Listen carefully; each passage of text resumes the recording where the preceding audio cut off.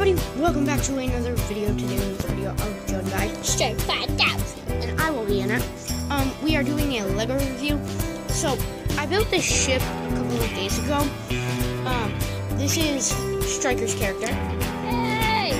And there's my character. The only reason why he has the J um, from here Here's my character. because he's my favorite character in Ninjago.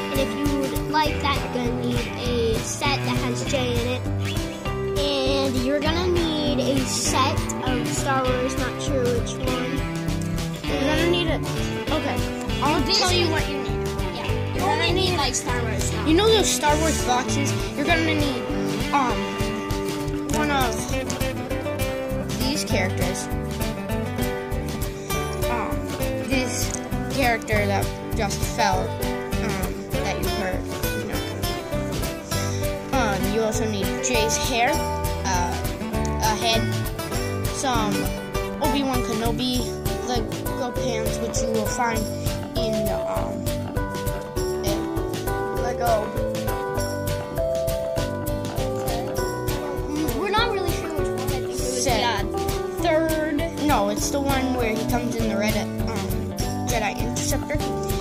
And then you're also gonna need that for this type of hair. Or if you want it, you can make it black and like grab a different set for the black. And then now to the ship review. So we're gonna move the ship. So, like I said, I built this days ago. So, this is the ship right here. Pretty heavy. It's probably about like,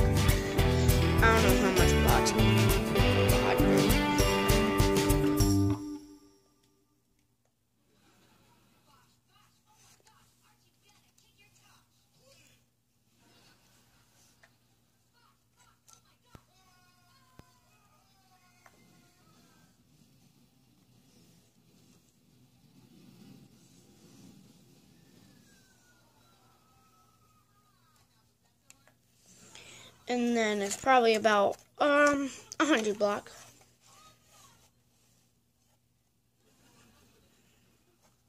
So